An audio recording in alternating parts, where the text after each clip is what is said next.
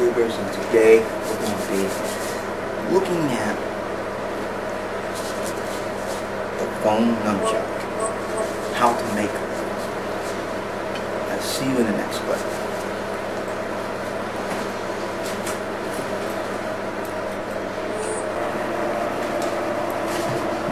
As you see here, there used to be two things of a PVC piping until I cut them down to 12 inches. The one that you see it didn't cut down yet is the ones for Helena and they do work.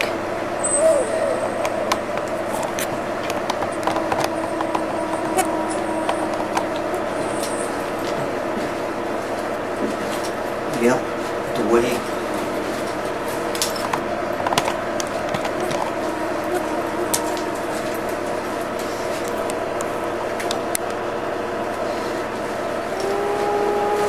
Yep, the way how you make them, you cut down PVC piping 12 inches, drill a hole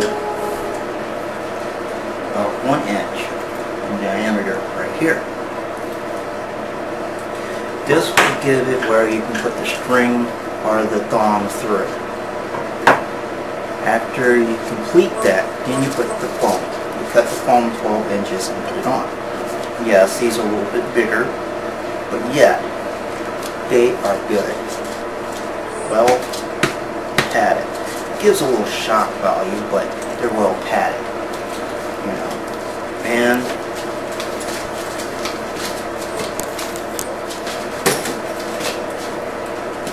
no injuries to anyone. So they work. You'll be seeing these and a little bit of um, hitting the mitts videos pretty soon in the next couple weeks. So this is the foam nunchuck that I built. I also got some tonfas upstairs that I built. And this is really good because